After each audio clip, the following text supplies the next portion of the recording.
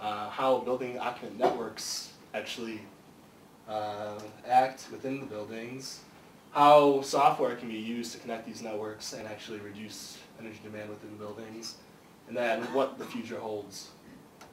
So, just by starting, I think a lot of people before Facebook uh, were kind of familiar with this notion of six degrees of separation. Basically, it's a small world. We're all connected people through, well, I think the folklore is six degrees, like no matter what, we're, that's how close we are. Uh, this was basically an experiment done in 1970. One person basically sent out letters to about 250 random people with the intention of trying to reach some stockbroker in Boston. So basically, they gave the address, and if you didn't know the person personally, you tried to send it to somebody you thought you thought would know the person or has a better chance. And what he found was out of like 64 letters that reached, it only took about six different steps for it to actually reach the person, which is pretty pretty radical uh, in terms of understanding that's how far this person was, just this complete stranger in Boston. Uh, I'm pretty sure he was notified that he'd be getting strange letters, but either way, um, it was a pretty interesting find. And now recently we've been kind of moving that into the modern realm, and I know not many people are using Microsoft Messenger anymore, but this is a good study when it was popular. Basically showed people that are having conversations with each other were still around six degrees separate. Like this is across the entire world, an entire network of millions of people. I think it's maybe over 100 million people in the system. And in terms of one person being connected to someone completely random in the network, uh, that person, whoever they talk to, there's only about six degrees of separation there. So basically what that shows is we are connected, and there's ways that we can use these connections to actually get things done and actually understand things about ourselves. And what that means is we can alter each other's behavior, we can influence each other's decisions to actually uh, purchase things, act certain ways, uh, do good, do bad. I mean, influence is influence, uh, no matter how you cut it. and I'm sure we have a lot of personal exam examples of like adopting different technologies or, I mean, my most recent example is I don't watch TV, I don't watch a lot of movies, and I kept hearing about House of Cards, and I kept hearing how good it was, and I finally like got in the bandwagon and watched it, and was pleasantly surprised. And what that was an example of is the more people that I heard talking about it, the more I realized, you know, there probably are, they're saying something about the show. There's certain trust that I have with these people. They like the show. I might as well give it a shot. so the more people are talking about it, the more trust is communicated, and the more likely we are to adopt the behavior. The second example is like adopting technology like Facebook. In the early days, it was kind of fun to see pictures of people. Uh, you didn't really know what was going on. A lot of people weren't signing up. They're like holding off. Specifically, my parents like, "Oh, we don't need Facebook. Like, it's for young people." But uh, more and more, as more people signed up, the utility of actually signing up and using Facebook increased, where it was basically proportionate to the number of users using it is the more utility that individual gains by using it themselves. So that's another example. Rather than communicating trust, you're basically increasing utility by having more and more people link up in the network. So those are general examples, but they also apply to green technologies and things like that. So this is just a plot of the, the number of sales of hybrid vehicles in different parts of the country. And it's, you can probably surmise, guess from the, just thinking about it, Portland has a very high concentration of vehicles, a hybrid vehicles purchased, followed by Seattle and San Francisco. And these are communities where, you know, conservation is a very big part of their lives. A lot of people are talking about it. There's a lot of influencing uh, of one another to actually act green, buy green, live green, that kind of thing. So it's no surprise that there's a very high proportion of individuals using hybrid vehicles, among other technologies. When you compare it to the U.S. average, which is on way lower, uh, that just shows the effect of actual physical interactions, the word of mouth spread, and the diffusion of practices and decisions. So with that in mind, what we're trying to do as a research group is to see how we can actually use these social networks to reduce the energy consumption within buildings. So you guys are all very conscious of your impact on the environment. and you all live under work, live, work, whatever, under the same roof. Uh, and so you have a lot of influence over each other's decisions and actions. And within just a slice of energy in the U.S., buildings are 40% of all energy consumed in the United States. Uh, it's 75% of all electricity. So how can networks help? There's a few ways to actually approach building demand and consumption. Uh, a lot of them have been tried uh, and are still being used. Automated systems is one approach. Basically, how can you create a system that is a smart building system, knows what temperature things should be set, what lumens the lighting should be at. Uh, these are all very, like there's some very sophisticated complex approaches, but a lot of times occupant comfort is kind of compromised. Uh, when lights are going off and you're late at the office or things are too cold because there's not enough people to, to make the warmth, a lot of people start complaining and that's not what we want as a, basically a tenant or a building manager. There's also expensive efficiency upgrades where you can invest a lot of money up front, uh, hope things work out, but what we see is a lot of these amazingly efficient buildings that are being constructed around net zero principles are not achieving the kind of consumption uh, levels that they were built for. And people are wondering why, and there's a lot of studies showing that there's actually a rebound effect in the behavior of tenants, where if the lighting shouldn't matter, then why should I turn it off? It's efficient anyway. So what we're trying to do is stem that kind of rebound effect by targeting behavior modifications, basically the most fundamental aspect of um, demand. If we can influence behavior and basically lower demand or like basically the most fundamental way, then you can avoid costly upgrades or complement them, um, and you can also integrate that into automated systems. So this is just kind of a breakdown about uh, typical energy use and electricity use in office buildings. On the left you see it's a plot for buildings in the, this region, the mountain zone, the United States. Space heating is a pretty big component. Um, it's mostly gas. Uh, but once you start breaking it down in terms of energy, or electricity, sorry, specifically, uh, you see where a lot of gains can be made. In our system, at first, I'll, I'll explain that later. But sorry, in terms of easy gains, lighting is a big one. Obviously, if we turn off the lights, that's a very easy way to uh, conserve energy. Uh, computers, office equipment, monitors, these are all kind of things that we have direct control over. They can very easily uh, control. And then secondary sources, refrigeration, uh, we don't have as much control over. And then ventilation, cooling, space heating. So in terms of in individual impact, we can target the three main ones, which is a good sign.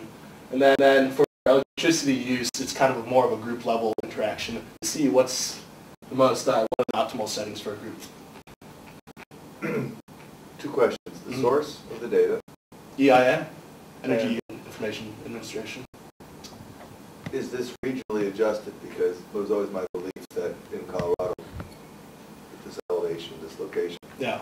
Greatest energy use was going to be annual based heating, cooling, lighting, so, and equipment. Mm -hmm. uh, so the graph on the left is regionally based.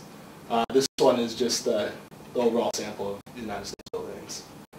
Uh, I could find the electricity breakdown of this region, this energy breakdown. So, big numbers, administrative offices in particular use a lot of energy, um, and it's got a big environmental impact. And basically, even marginal reductions, say 5-10% of savings, will have a big impact on a large scale. And that's kind of what we're trying to see is how, how much can we impact this through behavior. So designing a system to actually get this done, there's a lot of questions we have to ask. One is what motivates people to serve?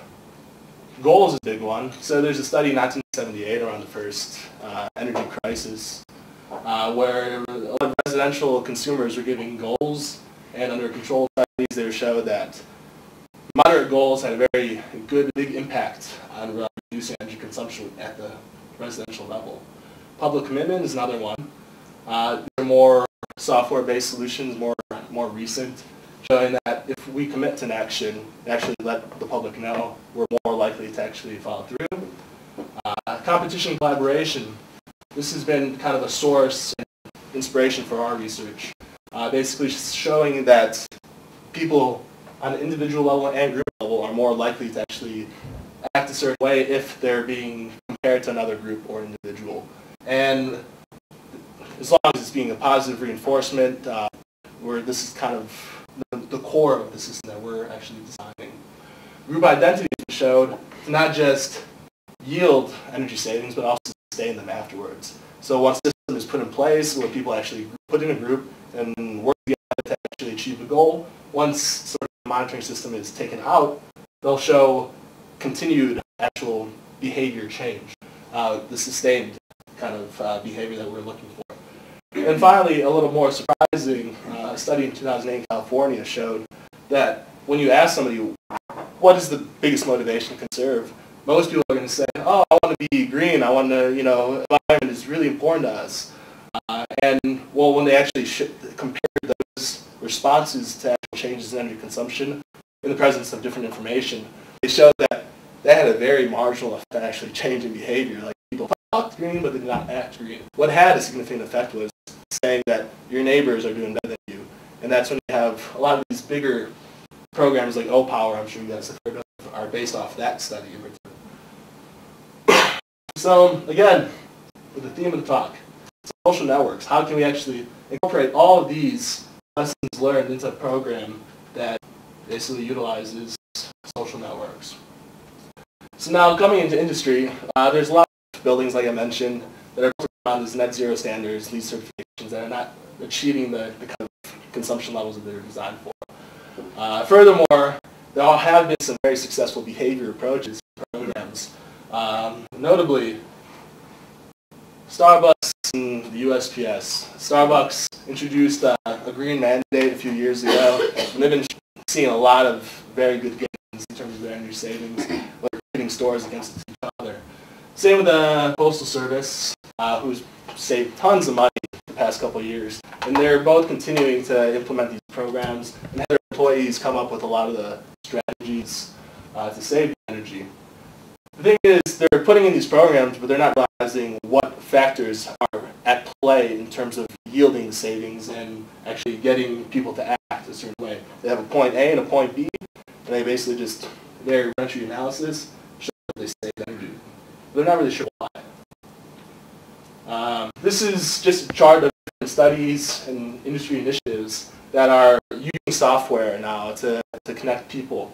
Uh, as technology has been evolving, prices have been dropping for monitoring technologies, we see more and more people are adopting higher frequency, higher resolution, basically appliance level, individual level feedback uh, into the programs, yet very few actual studies are in a position to actually analyze the programs. Uh, the, the gray dots are basically the academic studies, and as you can see, there's a dearth in the upper, upper right corner. So a lot of basically industries jumping ahead without knowing how how to actually analyze their programs. And our research group was basically created to fill that gap, the research gap. And in the past three years, we've been doing residential studies, and it's kind of my responsibility to lead it into the commercial domain. So our first study, uh, we started at Columbia University. Uh, we basically did a dormitory study where we connected a bunch of students over six floors and basically analyzed their interactions with one another over the computer system and applied a lot of computer science algorithms uh, to see what was actually happening. Uh, we found that network effects, so basically when an individual has individual feedback of how much they're using, uh, versus when the individual has that feedback, but also what their peers are using, there's a statistically significant difference between the amount of energy that is saved over the course uh, of the program. Uh, furthermore, we also were able to identify and characterize the rebound effect. So once people started, were introduced to the system, there's a dip. Uh, after a few days, it start creeping up. Their energy usage kept increasing until we reminded them that the system existed. then it jumped down again. And we were able to characterize that, and basically we found out that the key to actually getting sustained savings was increased engagement uh, of users with the system, just to kind of increase their consciousness of their actions. Uh, we took that analysis a step further, uh, basically mapping out the actual structures of the individuals um, and their the people that they're connecting with in the building. And we found uh, that the more people an individual was connected with, uh, more savings that they were actually going to um, achieve.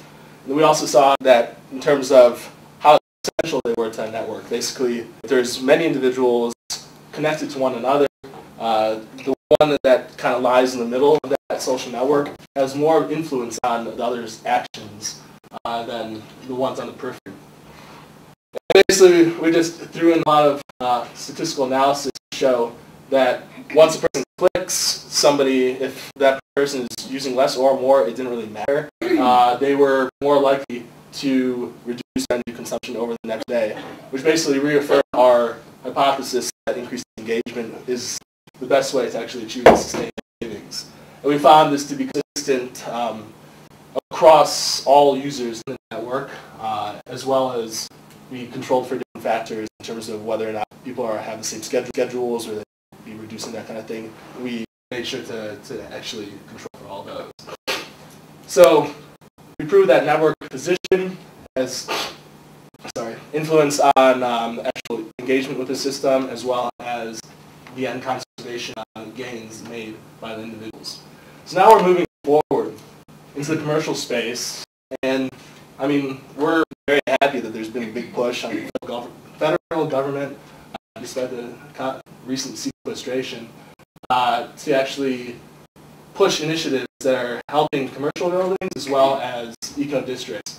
So we're kind of step one of our grand vision, which is to incorporate a lot of occupant comfort metrics, not just energy, but also how comfortable you are in terms of temperature, humidity levels, lighting.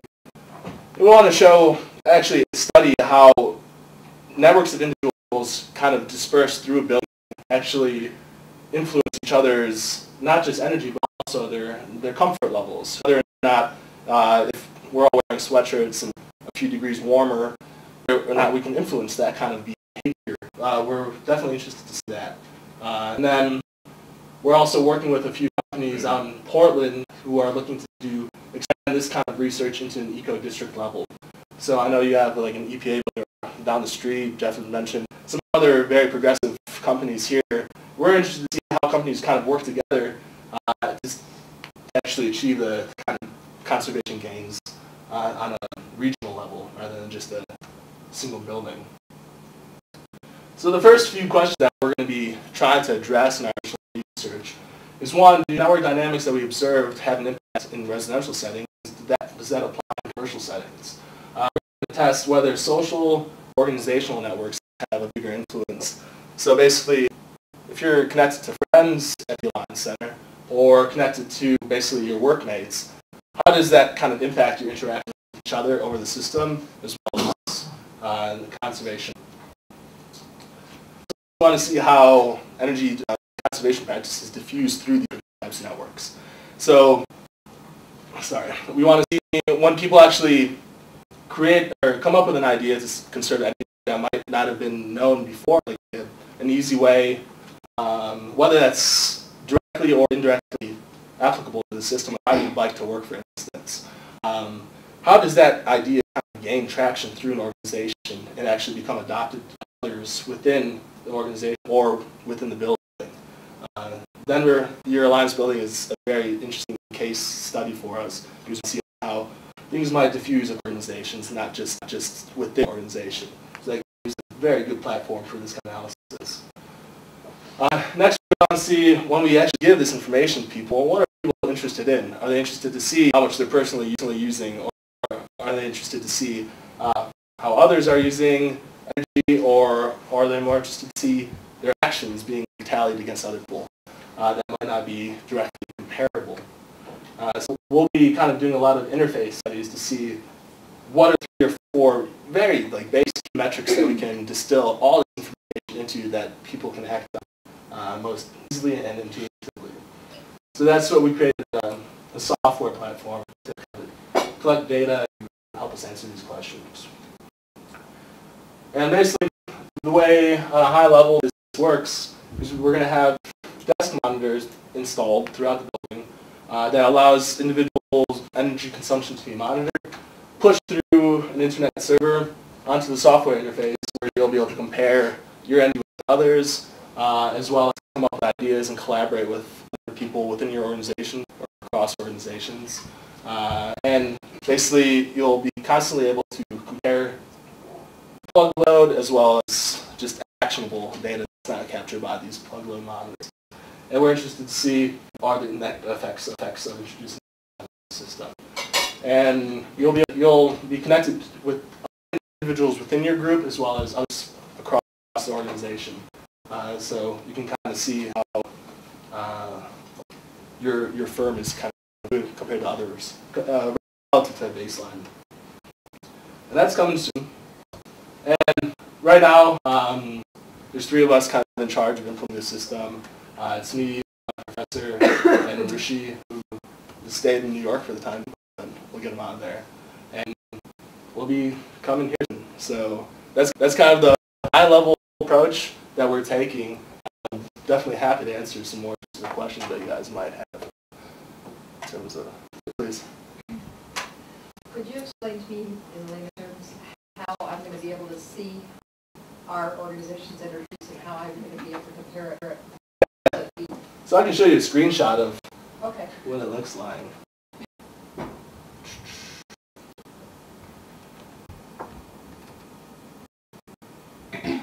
So there's basically three main views. This is the first individual. Basically, your energy consumption, uh, basically your desk load based on uh, your power strip or whatever you're and working with on, on your desk. Uh, it's going to populate the main plot here. And you'll be able to track, in the initial version, we won't disaggregation of appliances because of monitoring limitations. Uh, but your aggregate desk consumption will be displayed in the graph here. And you'll be able to toggle on and off other people that you're connected to over the network. So that's going to be determined whether by uh, whether you're connected to an organization, a larger one, or a group of organizations to work together. So we'll allow, allow up to eight different comparisons at one time uh, on this. And to be clear, we're not really expecting that this is going to be where all the gains are coming from. This is basically just a bridge your actions to actual energy consumption. We want to create this link of consciousness that your matter. Uh, now the second part of it, actually before I and then within a group level, we'll have normalized data, so different groups of different sizes, you can compare your consumption to their consumption as well. So you're connected to seven people here, another group is larger, maybe 20 people here, you'll be able to see how individuals are uh, consuming energy on that scale. Now the second part is where individuals are connected to come up with different ideas, uh, and now it's kind of like a Facebook wall, I guess, where a system administrator can come up with a few recommended actions. Individuals uh, kind of see this day in and day out when they're logged in. Uh, on the other end, an individual can come up with their own ideas. And once that happens, the new ideas will, will pop up, people can discuss, like, um, and actually uh, check, which means that they've actually performed the action. And we may track the popularity of ideas, see how idea might become more popular over time through the organization. And as a system administrator, you can kind of pick different actions from here, throw them on here. And then as an individual, every time I check something, say I turn off the bathroom or I ride my bike to work or um, turn down the temperature somewhere, uh, you can actually, actually click a check here, and then at least for recommended actions, you can compare your actions over time with other people. So basically this kind of just creates a, a setting where if you're competitive with another group and you want to see if you, you turn off the lights before they do, I mean, you know some compromises, obviously. Uh, but this kind of gives you incentive to actually take notice of your own actions and record those. And we'll be tying a lot of the analysis with the submeter data that the Alliance is already collecting to see how truthful people are uh, and basically just we'll see what the net impact is of idea diffusion. So what makes an idea popular, gain popularity? Why are people discussing certain idea? How is it jumping from firm to another? These are the kind of things that we're going to be looking for. Um, and yeah, that's basically it. So it's a plug level direct comparison, and then uh, basically shared resource indirect comparisons that we're going to be tracking through the system. You just log into a web page. Yeah, so this is all hosted on our server and who's logged in.